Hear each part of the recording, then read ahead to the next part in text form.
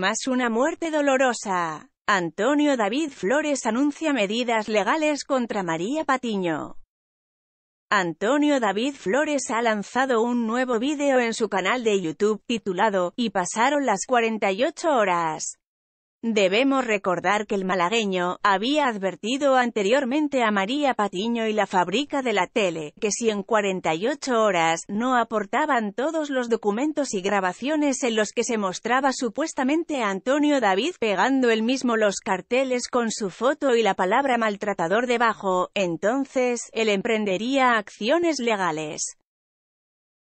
El plazo de las 48 horas que había dado Antonio David ya se ha cumplido, y ahora, a través de su canal de YouTube, el malagueño ha dejado claro sus próximos pasos.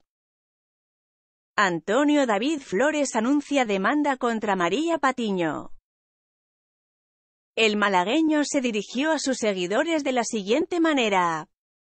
¿Qué tal familia cómo estáis? Me alegro de que estén por aquí, por el canal, vuestro canal y obviamente después del emplazamiento que les ofrecí a María Patiño y a los productores de la fábrica de la tele, Adrián Madrid y Óscar Cornejo, no han hecho absolutamente nada, han obviado la propuesta que les ofrecí sobre la posibilidad de que toda esa documentación a la que hacían referencia, lo pudieran mostrar ante vosotros ante la audiencia para acreditar que contaban verdades hechos que se pudieran demostrar. Ese emplazamiento fue de 48 horas para que demostraran todo aquello que me habían imputado. Hablamos concretamente de esa colocación de carteles donde figuraba mi imagen con la palabra maltratador debajo, donde decía María Patiño que se había celebrado un juicio, que a ese juicio habían asistido testigos y que había grabaciones de los negocios colindantes a mi domicilio, donde se veía que era yo la persona que colocaba o que pegaba esos carteles. A partir de aquí, voy a explicarnos qué es lo que ha ocurrido y las decisiones que voy a tomar.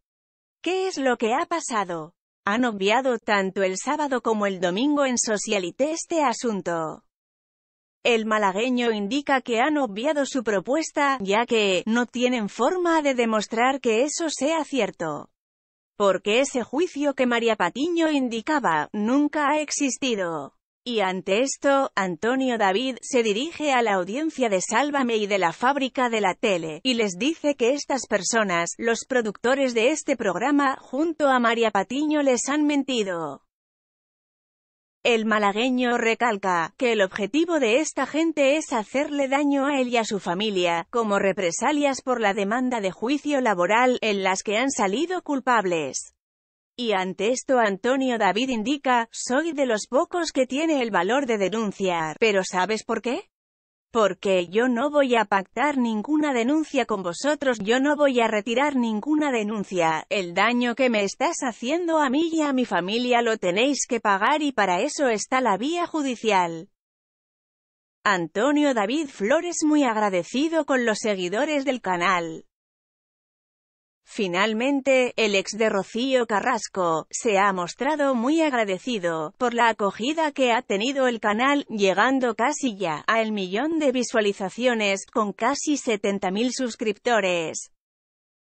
Al final, esto es la recompensa de lo que estamos haciendo todos que es justamente luchar contra las injusticias, contra las cosas que nos hacen daño, contra aquello con lo que no estamos de acuerdo. Familia, muchas gracias por estar ahí. Les mando un beso enorme. Chao.